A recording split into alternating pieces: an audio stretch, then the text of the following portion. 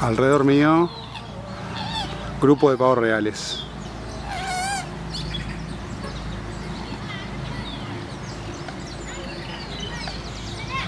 Mira que es esto. Y allá al final, ahí encima del árbol, también están. En la copa de ese árbol. Están por todos lados. Mira qué belleza.